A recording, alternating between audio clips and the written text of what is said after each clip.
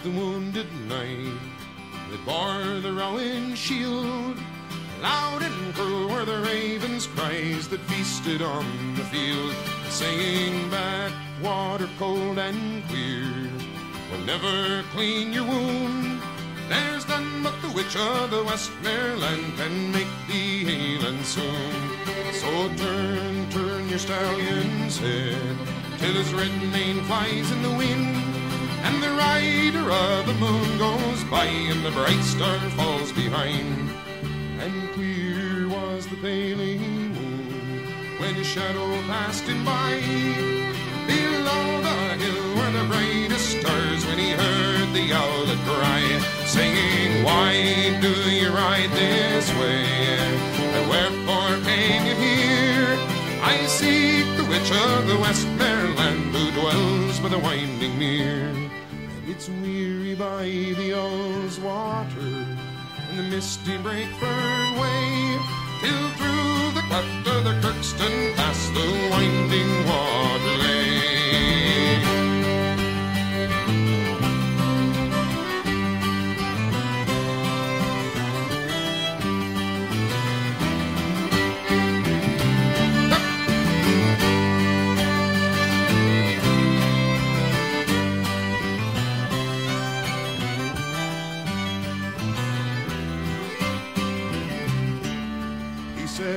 Lie down, me brindle town, and rest ye, me good grey hawk, and leave my steed may graze thy fill, for I must dismount and walk. But come when you hear my horn, and answer swift the call, for I fear the sun will rise this morn, you will serve me best of all. And it's down to the water's brim. He's borne the rowan shield, and the golden rod he has cast in to see what the lake might yield.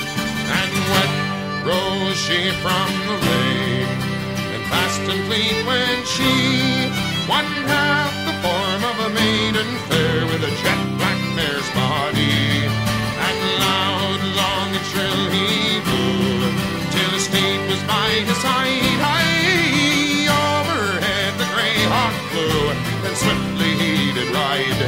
Saying, Horse, well be brindle town, fetch me the jet black mare, stoop and strike me good grey hawk, and bring me the maiden fair.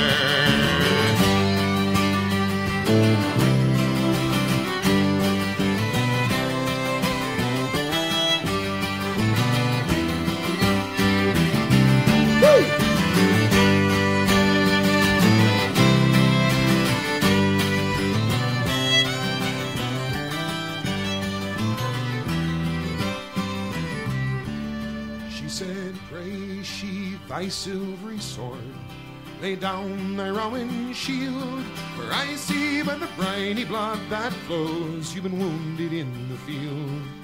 And she stood in a gown of the velvet blue, bound round with a silver chain. And she's kissed his pale lips once and twice, and three times round again.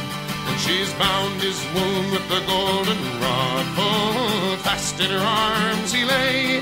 And he has risen hale and soon with the sun high in the day.